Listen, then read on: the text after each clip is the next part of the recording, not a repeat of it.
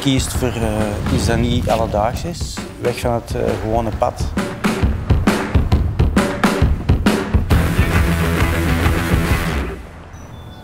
Ik heb nooit ambitie gehad om sterrenchef te worden. Hetgeen dat wij doen backstage, dat is besloten, daar wordt niks over geschreven.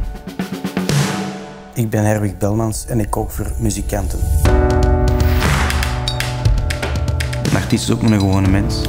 Er wordt niet geapprecieerd als je verhalen zou rondstrooien over dingen die uh, zeer privé zijn. Dat is not. Die mensen op tournee en die willen eigenlijk het gevoel van thuis een beetje. Voor veel mensen is dat een goede maaltijd, is dat eten en rust. En je hebt er heel veel, heel veel artiesten bij die, uh, die eigenlijk gezond willen eten en ook andere dingen willen proberen. Dingen die ze niet kennen. Iets van de plaats waar ze zijn. Probeer dat wel altijd te doen. Altijd zo iets mee te geven van smaken van hier.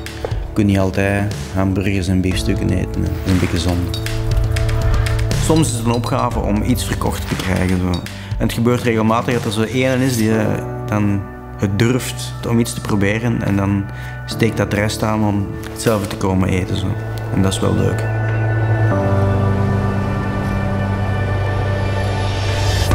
Bij ons in de camper waar ik kom, we vinden soms echt wel uh, leuke dingen.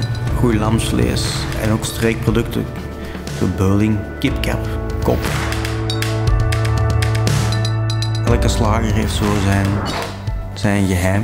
Ik vind het wel tof dat er zo'n authentieke de slager dat hij echt zo weet van waar zijn vlees komt, het zelf versnijdt, zelf zijn bereiding maakt. En dat is wel iets dat mij aanspreekt.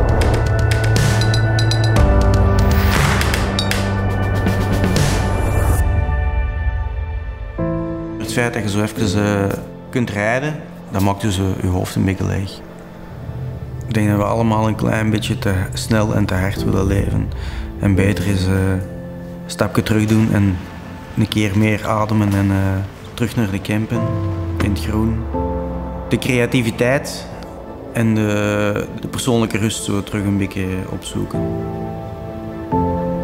Door de job heb ik wel redelijk wat van hier naar daar gereisd. Verschillende landen, verschillende plekken, verschillende culturen gezien. Uh, wat dat wel verrijkend is, maar het is ook niet slecht hier.